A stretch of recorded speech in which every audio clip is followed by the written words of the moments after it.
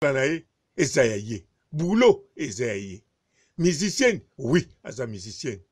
nayokaki bato ebele balobaki ke bakomaka musicienne te babotamaka musicienne ok karine mokonzi abotama pe musicienne nakosi po soki abotama musicienne te alors botala bato oyo bazoluka bakoma ba musicien soki si ba interprete ata nzembo moko esimbi basali ata nzembo moko esimbi alors karine mokonzi na ta moke biloko apesi eh? ezosimba te eza kosimba eza koningisa mitema ya bateti te eza koningisa eza kobinisa Binemi te ya Carine Mokonzi ezakobinisa bongo ba oyo balingaka Carine Mokonzi na ba oyo balingaka ba bonne musique na ba oyo basepelaka na makambo oyo bazomona pe bazoyoka lokola ba papa robot eloko nini bakosala kaka kobina kobina kobina danse oyo ekoya eya soki pe jerk tokobina jerk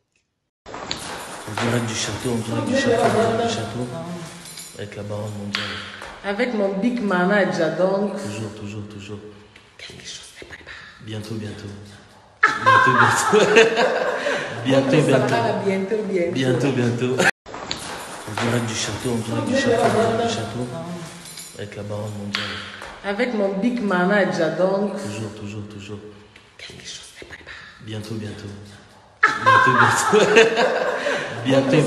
bientôt bientôt bientôt bandeko mpo na karine mokonzi quelque chose se prépare mais pour du vrai donc oyo eza koya eza du lourd kozala kozala eza du lourd eza mpe eloko ya kosakana te boyeba ke karine mokonzi sa bandaki deja ba enregistrement sa abandaki dejà makambu na studio donc oyo elobi manager ezali maseki te pe yango wana pe Carine a repete na kanisa na bonne annee oyo batu bakobina penza biloko ya Carine Mokonzi na ndenge ya kosakana te pe na kanisa manager na ba producteur bakobakisama bien sur manager akozala toujours traditionnel oyo toza na ye mais ba misusu pe bakoya comme ba producteur comme batu mosusu ya minene po Carine Mokonzi aza ko preparer kaka du lourd te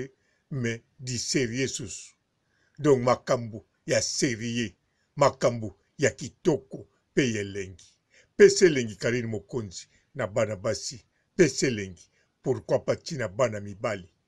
oyo bavandeli maki kaka na ba nganda bavandeli kamundele bavandeli thomson alors carine mokonzi pesa elengi pesa gout na poto mbote ba papa ba maman ba ndeko Mbote ba rando na ba randonnette. Mbote bato oyo balingaka rando na ba oyo balingaka rando te.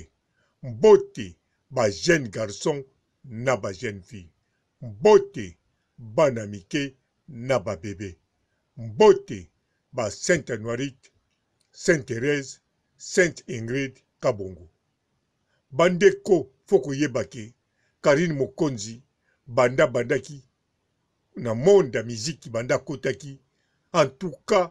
azosala yango mpenza du serieux liboso ntango tomona abimisa eloko Arafat ezala surprise mpo na biso nyonso tokamwa tokanisaki maseki me tomoni alandisa laissez-moi tranquille nakanisa soki bolandi nzembo moko eza wana te na tous les deux wana deja moto akokobina yango te bato bakosepela te bato bakosepela mpe bato bakobina mpe babinaka yango mpe basepelaka ata promo na batelevizio ya congo mpo basite mosusu mpe ya poto mpo na kolobelaka yango bazomona monoko kilo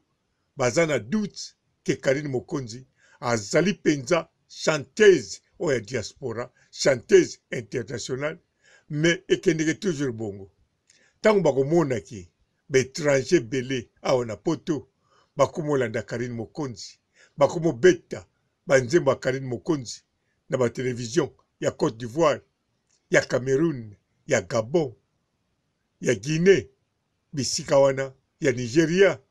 bisika wana bango bakobota mapapu. Oh Carine Mokonzi azalaka ya biso, Carine Mokonzi aza Congolese, Carine Mokonzi aza Ngolezi te, Carine Mokonzi makambo ekokoma ebele. Mais sikoyo bazo ignorer ye. Mais Carine Mokonzi bango moko tango bayokaka musique oyo Carine Mokonzi abeti, balobaka abeti lokola maseki mais abeti penza bien asali makambu mususu lokola maseki mais asali koleka ba chanteuse oyo biso tokanisaka bayebi yango bayebi yango eske nakosi soki nakosi yo ozoka ngai banda kotala clip moko fungola tala okomona ke papa robo abakisi eloko moko te alobi kaka makambu oyo yo ozomona ozotala pe na bilengi ozoyoka na nzembo wana yango wana ntango karine mokonzi azoloba dilour ntango manager azoloba dilour elingi koloba bino moko bolobaka deja diserie mpo karine mokonzi banda banda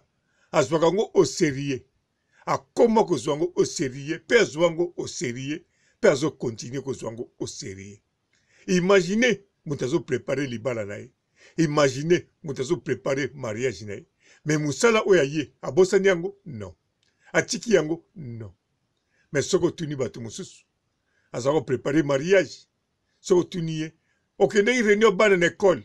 ah makambo ya mariage ezozwa nga motu meme réunion ya bana ya mokolo moko pendant 3 mois azoka kokende te mais karine mokonzi mosala na ye eza ya ye boulot eza ya ye musicienne oui aza musicienne nayokaki bato ebele balobaki ke bakomaka musicienne te babotamaka musicienne ok karine mokonzi abotama mpe musicienne nakosi mpo soki abotama musicienne te alors botala bato oyo bazoluka bakoma bamusicien soki si bainterprete ata nzembo moko esimbi basali ata nzembo moko esimbi alors Carine Mokonzi na temps muke biloko apesi hein? ezosimba te eza kosimba eza koningisa mitema ya bateti te eza koningisa eza kobinisa binemi te ya Carine Mokonzi eza kobinisa bongo baoyo balingaka Carine Mokonzi na baoyo balingaka ba bonne musique na baoyo basepelaka na makambo oyo bazomona mpe bazoyoka lokola ba papa robot eloko nini bakosala kaka kobina kobina kobina danso ekoya eya soki mpe jerk tokobina jerk alors kalini mokonzi na manager balobi bino moko boyoki na repetaka yango non bino nde boyebake bopesa valeur na kalini mokonzi mpo soki bozo ignore sikoyo bokopesa valeur na makasi ntango wana satoni na valeur Satondi na lokumu na niveau Afrique. Akangi Afrique. Bobosana te azali musicien international. Aza kosala ba œuvre tout na kati ya diaspora. Aza ko enregistrer ba nzembo na ye na ba studio. Ba oyo basimbi technique babeta ba biloko ya ba professionnel oyo bakoma lelo ba millionnaire. Bestromai Alors sikoyo Carine Mokonzi aza na maboko ya banani? Aza na maboko ya batu kitoko, ye moko pe chanteuse ya naissance. Bien sur ayebaki yango te mais abotama chanteuse po na kosala biloko ya boye. Ata soki otuni Cindy Leker akoloba oui Carine Mokonzi abotama chanteuse. Ata otuni Mege 30 akoloba oui Carine Mokonzi awuta ma chanteuse bokanisa te mpo kombo ne kaka Carine Mokonzi me oyo ezosala mosala eza kombo ya Carine Mokonzi kaka te me eza ye moto aza kosala eza ye moto aza kobule eza ye moto aza kobenga bamanager eza ye moto aza koluka basolution eza ye aza kotuna mobali na ye papa tigre nani asala boye tokosala nini papa tigre alobi non Nga pe ndenge naza boye naza parolier tika nakoma eza Carine Mokonzi aza ko decide bokanisi soki apesa kombo ya Michael Jackson tango wana bon ye akanisaki yango na tele realite me nzoka abotama musicienne yango wana nga tango naza koloba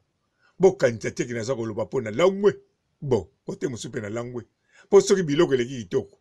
eloko ezosepelisa yo suka na yango yaka nini kolangwa Ndenge wana te, yo ntango olembolaka nsani ya pamba ya madesu, madesu, malewa, olangwaka te mpo eza gout? Alors, pourquoi pas nga soki eloko namoni gout, nalangwa, nalangwe, nalangwe, oui, nalangwe,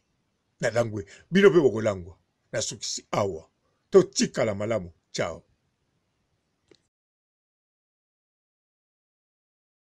Bonjour fidèle internaute de www.elengiakombatv.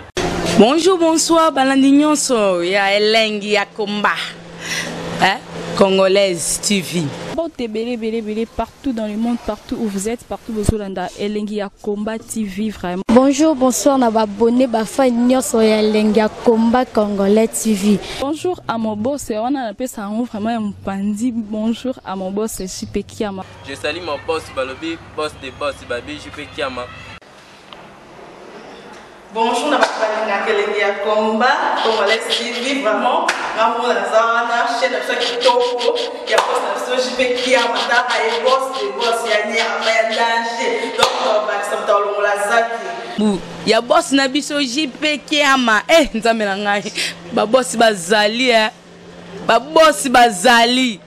Eh, JP Kiama, le boss des boss. napesi d'abord bonjour toyebaka mbote ebele na mabosi jp kiama wana nakozangisa yo te donc nakoki koleka te sana napesa mabosi jp kiama boss de boss mbote ebele ebele ebele partout dans le monde partout où vous êtes partout bozolanda elengi ya combat tv vraiment bonjour bonsoir na babone bafai nyonso ya elengi ya combat congolais tv bonjour à mon boss wana napesa yango vraiment ya mopanzi bonjour à mon boss jp